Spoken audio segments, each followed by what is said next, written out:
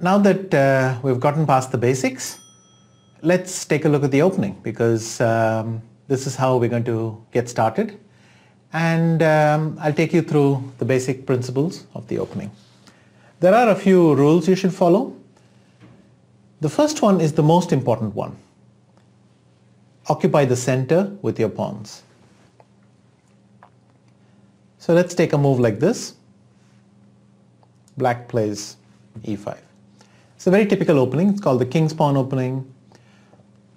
I mean, with a lot of sub-variations, depending on what white does and black does. There are many different names. But essentially, both sides have moved their king pawns uh, two squares forward. What have they done? Well, white has occupied that square with that pawn physically. Black has occupied that square.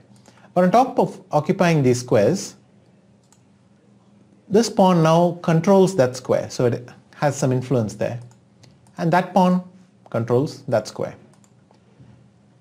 They also control an additional square on the side and black controls a square on the side.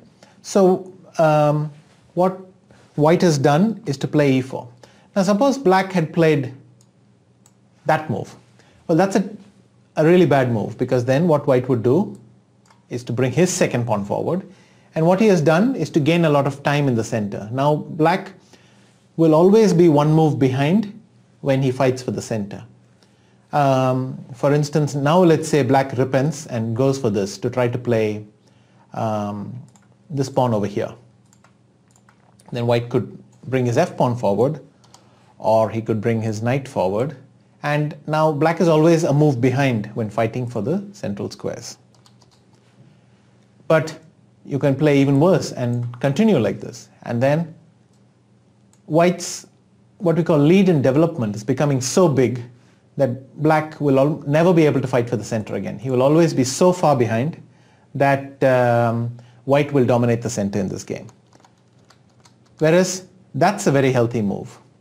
And when we get to the openings, we'll see a lot of different openings so you get an idea of the various strategies.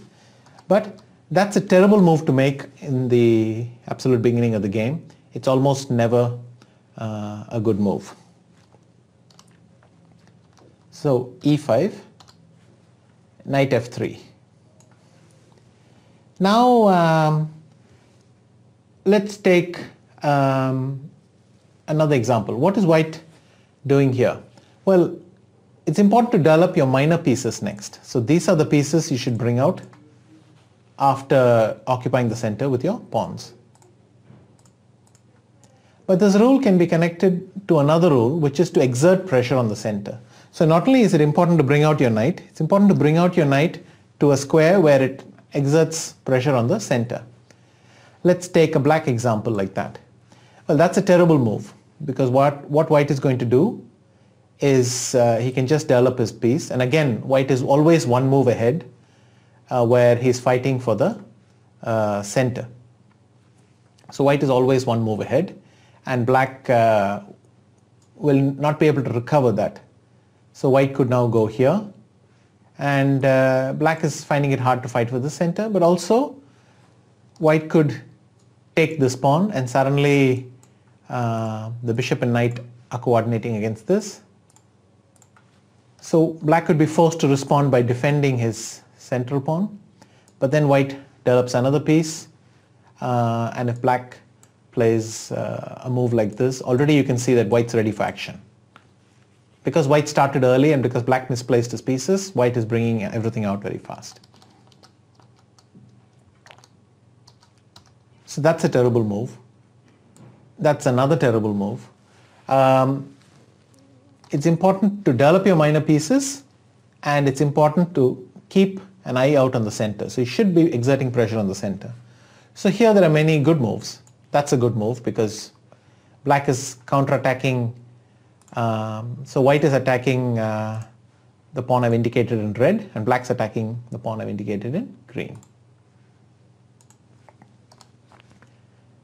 That's a good move as well because uh,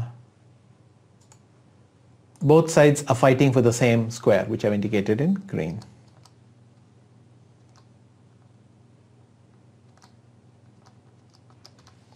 Now let's take an example of uh, bishop b5. Well, this is the Ruy Lopez, and the idea is because the black knight is defending the pawn, white tries to weaken it a little bit, place it under threat. Um, the concept being that you're undermining the e5 pawn for, for the black side. So white is following the rules. Um, brought out a minor piece here, a minor piece here, and um, now let's take a move like that. That is a bad move because you're moving the same piece twice. So um, we can add one more rule. Occupy the center with your pawns. Develop your minor pieces to exert pressure on the center. Do not move a piece more than once. This move is particularly bad because not only does it move the knight away from the center, it moves it twice. And uh, so uh, you'll find that as white uh, develops already now black has to do something about this pawn. So typically he will go here, white can come back, black will go here, and white's generally much better placed to fight for the center.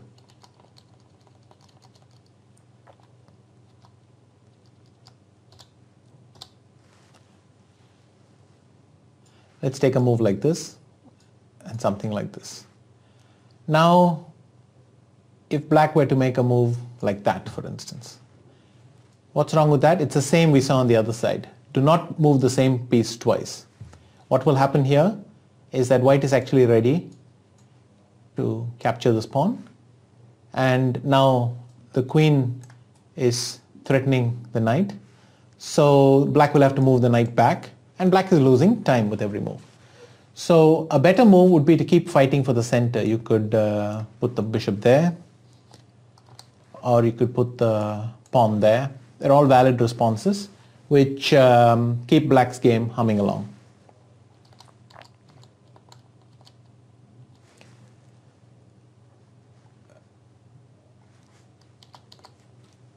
Let's try some other opening. Let's go bishop c4, which is perfectly valid, knight c6. I covered this uh, idea in uh, the mate section, but I'll cover it again. Queen f3. Well, this is slightly hope-based. White is trying to attack that pawn. And what happens is that uh, because there are two pieces attacking a weak square. White is trying to give checkmate on the very next move. That's okay if it works. If your opponent falls into it, it's fine. But what if your opponent doesn't fall into it? What if your opponent knows that trick and avoids this? Well, you'll find that this queen is very awkwardly placed here. So what happens is that um, this square belongs to the knight, but the queen is occupying it. So if white were now to play d3, black could play knight d4, attacking the queen and attacking the pawn. The only way to defend it is to come back and then black could play something like b5. White is forced to go bishop b3. Black develops his pieces and we see that black has just gained time and white has lost two moves. Remember he went to f3 and then he came back. So he lost two moves for nothing. The same logic applies if you go here because as long as black is aware of this threat, he will move his pawn and block it. If white persists, let's say here, then black develops the knight, again stopping queen takes f7. And then white is simply behind in development. If he goes d3, same logic as before, knight d4, and the queen is kicked back again to d1, and black is gaining time.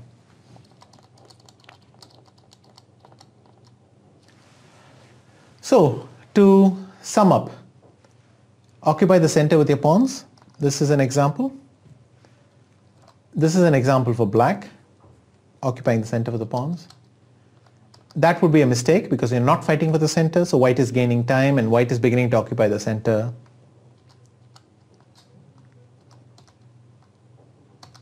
Develop your minor pieces, exerting pressure on the center. That's a good move. That's a good move. But that's a terrible move because it is not fighting for the center. and that as well. So you should be developing your minor pieces to exert pressure on the center or to fight for central squares.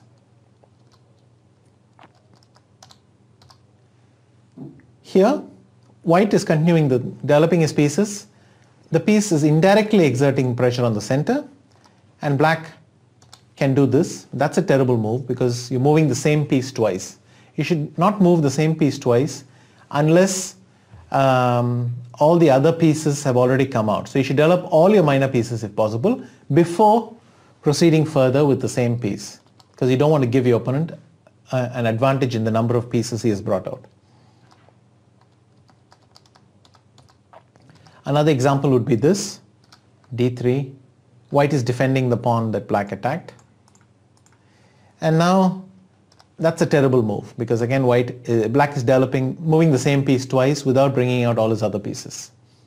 And white would just win a pawn and attack the knight. So it would be much better to play something like that, which is fighting for central squares. And, uh, or you could even go d6, which is defending a central square of yours.